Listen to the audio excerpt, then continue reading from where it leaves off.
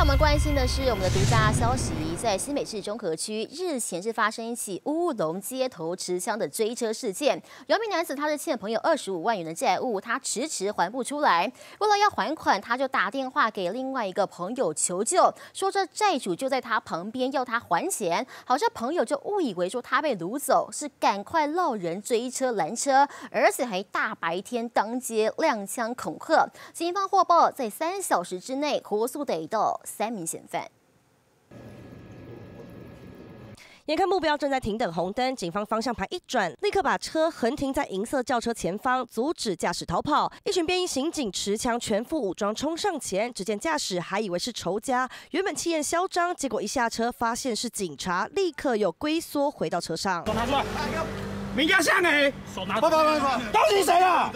东西我的，你要是不是？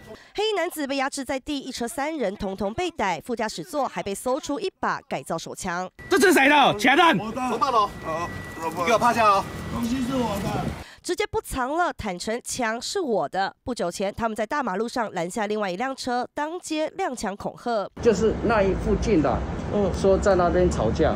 事发地点在新北市中和中山路二段和桥河路口。十四号情人节大年初五下午大约两点，原来被拦车的何姓男子和余姓男子是朋友关系，因为欠债二十五万元，债主余姓男子不断讨债，何姓男子打电话向吕姓友人求助，表明自己被债主带上车。吕姓友人以为朋友被掳走，闹人助阵，当街亮枪。前面三个人在大马路上把被害人拦下来，但车上的其中一个人本来就是找他来帮忙讨债的，没想到这下亮枪恐吓，把自己的朋友。也给吓跑了。现场查获持枪之李贤及同车之林贤与吕贤，起获改造枪支一支、子弹及各类毒品等证物。不止车上藏有火药，警方还查获毒品海洛因、安非他命、吸食器等。这位嫌犯自以为是帮朋友助阵，大白天亮枪，结果全部难逃法网。记者陈佑陈昌明新北市报道。